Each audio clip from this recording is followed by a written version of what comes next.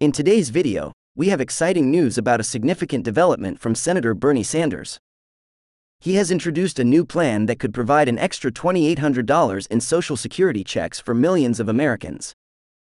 This increase will benefit those who receive SSI, SSDI, VA benefits, and seniors, offering much needed financial relief. Find out who qualifies for the increased benefits. We'll cover all the details to ensure you know if you or your loved ones are eligible. Learn how the $2,800 increase will be applied. We'll explain the process and any steps you need to take to receive this additional support. Get insight into Bernie Sanders' proposal, including when these changes might take effect and what to expect in the coming months. Understand how this increase can positively affect your daily life and financial stability. We'll discuss how an extra $2,800 can help with expenses like healthcare, housing, and other essential needs. This proposal aims to provide crucial support for the most vulnerable groups, including seniors, veterans, and those with disabilities. We'll explore how these changes can improve the quality of life for many. Economic benefits. Learn how this increase in benefits can help boost the economy by providing more spending power to those who need it most. Your thoughts, we want to hear from you. Share your thoughts and experiences in the comments below. How would an extra $2,800 impact your life or someone you know? Engage with others in our community who are also affected by these changes. Your stories and feedback are valuable and can help raise awareness about the importance of this proposal. In a move that could provide much needed financial relief to millions of Americans, Senator Bernie Sanders, IVT, has proposed a bold plan to increase Social Security payments by $2,000 per year. The plan specifically targets some of the most vulnerable segments of the population, including those receiving Supplemental Security Income, SSI, Social Security Disability Insurance, SSDI, veterans benefits, and senior citizens. Sanders, a longtime advocate for strengthening social safety nets, unveiled the proposal amidst growing concerns over the soaring cost of living and diminishing purchasing power of fixed incomes. With inflation rates reaching historic highs, many Social Security recipients have found themselves struggling to afford basic necessities like food, housing, and healthcare. At a time when half of older Americans have no retirement savings and millions of others are barely scraping by, we must act to protect the financial well being of our seniors and most vulnerable citizens, Sanders said in a statement. This proposal aims to provide immediate relief to those who have sacrificed so much for our nation, ensuring they can maintain a basic standard of living in their golden years. The $2,800 increase, if approved, would be a significant boost to the average Social Security retirement benefit of $1,670 per month, representing an increase of nearly 14%. For SSI recipients, whose maximum federal benefit currently stands at $914 per month for an individual, the additional funds could be life changing. Sanders' proposal also seeks to address the unique challenges faced by veterans and those receiving SSDI benefits. Many veterans, particularly those with service connected disabilities, rely heavily on their benefits to cover essential expenses, while SSDI recipients often face exorbitant healthcare costs and limited employment opportunities. Funding for the proposed increase would come from a combination of sources, including raising the cap on Social Security payroll taxes for high income earners and implementing a modest wealth tax on the ultra rich.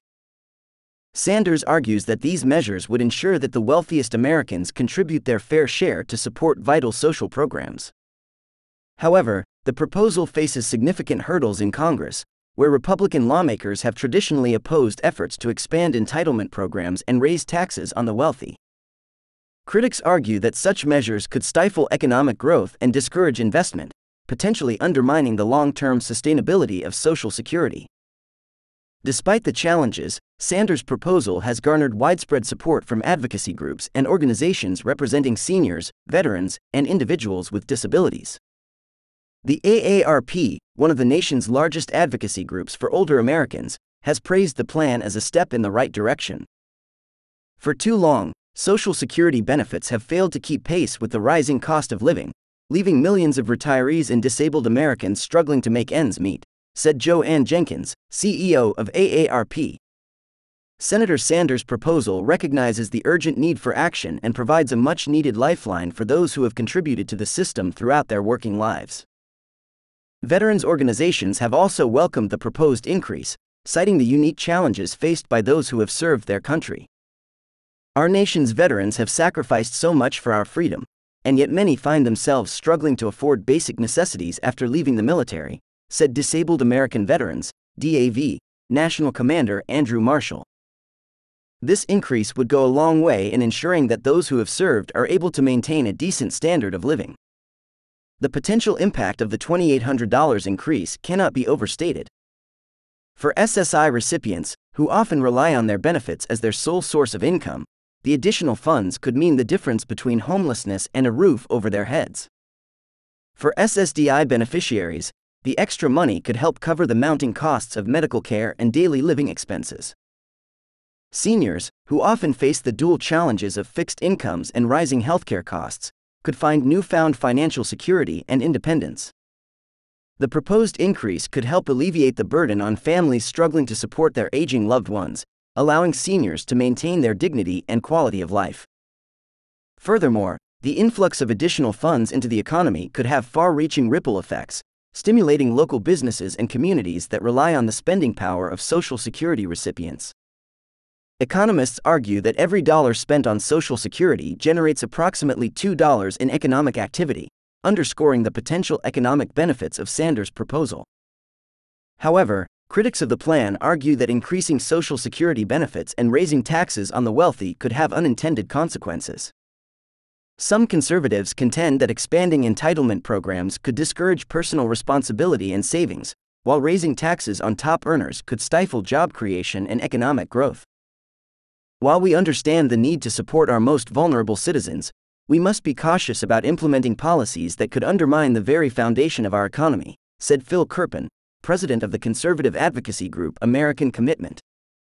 Raising taxes on job creators and successful businesses could ultimately hurt the very people this proposal aims to help by stifling economic growth and limiting opportunities. Despite the fierce debate, both sides agree on the urgency of addressing the financial challenges faced by Social Security recipients.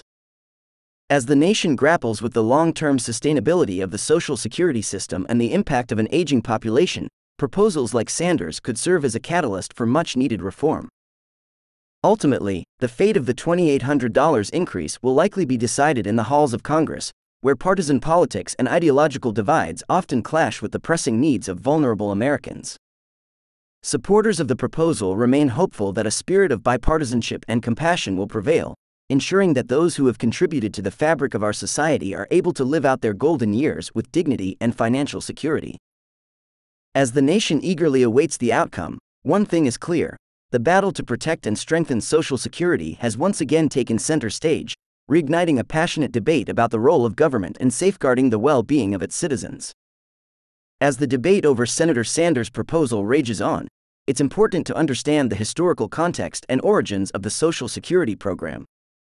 Established in 1935 under President Franklin D. Roosevelt's New Deal, Social Security was designed as a safeguard against poverty and economic hardship for the nation's elderly and disabled citizens. Over the decades, the program has evolved and expanded, with various amendments and legislative changes aimed at improving benefits and ensuring long term solvency.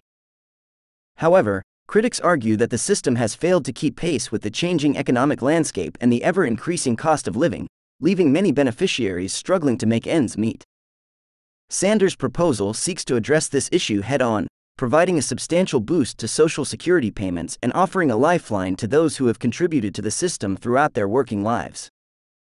The Vermont senator has long championed the cause of strengthening social safety nets, and his latest initiative is a testament to his unwavering commitment to protecting the most vulnerable members of society. While the proposal has garnered significant support from advocacy groups and organizations representing seniors, veterans, and individuals with disabilities, it has also faced fierce opposition from conservative lawmakers and economists who fear its potential economic consequences. The debate has reignited a long standing ideological battle over the role of government in providing social services and the balance between individual responsibility and collective support. Proponents of Sanders' plan argue that investing in Social Security is not only a moral imperative but also a sound economic strategy. They point to studies that suggest that every dollar spent on Social Security generates approximately $2 in economic activity, as beneficiaries tend to spend their income on goods and services within their local communities, stimulating businesses and creating jobs. Furthermore, supporters argue that the proposed tax increases on high income earners and the wealthy would help ensure a more equitable distribution of the nation's resources, allowing those who have benefited the most from the economic system to contribute their fair share towards supporting vital social programs. Critics, on the other hand, contend that expanding entitlement programs and raising taxes could have unintended consequences, discouraging personal responsibility, stifling economic growth, and ultimately undermining the long term sustainability of the Social Security system. They argue that the focus should be on implementing structural reforms to address the program's long term solvency challenges, rather than increasing benefits and raising taxes. As the debate rages on, it's clear that the fate of Sanders' proposal will have far reaching implications for millions of Americans who rely on Social Security for their basic needs. The outcome will not only shape the financial well being of current beneficiaries but also have a profound impact on the future of the program and the nation's approach to social welfare policies. Regardless of the ultimate decision, the conversation surrounding Sanders' proposal has reignited a crucial dialogue about the role of government in protecting the most vulnerable members of society and ensuring a dignified standard of living for all citizens. As the nation grapples with the challenges of an aging population and the ever increasing cost of living, it's clear that bold and innovative solutions will be required to address these pressing issues. Whether Sanders' proposal becomes a reality or serves as a catalyst for broader reforms, one thing is certain the battle to protect and strengthen Social Security will continue to be a defining issue in the nation's political and economic discourse for years to come. As the national conversation surrounding Senator Sanders' proposal continues to evolve, it's crucial to examine the broader implications of such a significant increase in Social Security benefits. While the immediate impact on recipients' financial well being is undeniable, the ripple effects could extend far beyond individual households and communities. One area of potential concern is the long term solvency of the Social Security system itself. Critics argue that increasing benefits without addressing the program's structural funding challenges could exacerbate existing shortfalls and hasten the depletion of the Social Security Trust Fund reserves. According to the latest projections from the Social Security Board of Trustees, the combined trust fund reserves are expected to be depleted by 2035, at which point payroll tax revenues would be sufficient to cover only about 80% of scheduled benefits. To address this issue, Sanders has proposed additional measures to bolster the program's funding, including raising the cap on Social Security payroll taxes for high income earners and implementing a modest wealth tax on the ultra rich. However, these measures have faced fierce opposition from conservative lawmakers and advocacy groups, who argue that such tax increases could stifle economic growth and discourage investment. Another potential concern is the impact of the proposed benefit increase on the overall federal budget and deficit. While Sanders has outlined plans to fund the increase through targeted tax measures, critics argue that the long term costs could strain government resources and potentially lead to trade offs in other areas of spending, such as infrastructure investment, education, or national defense. Supporters of the proposal, however, counter that investing in Social Security and supporting the financial well being of vulnerable populations is not only a moral imperative but also an economic necessity. They argue that by providing a substantial boost to millions of households, the increased spending power could stimulate local economies, create jobs, and ultimately generate additional tax revenue for the government. Furthermore, proponents argue that failing to address the financial challenges faced by Social Security recipients could have far reaching consequences for the nation's healthcare system.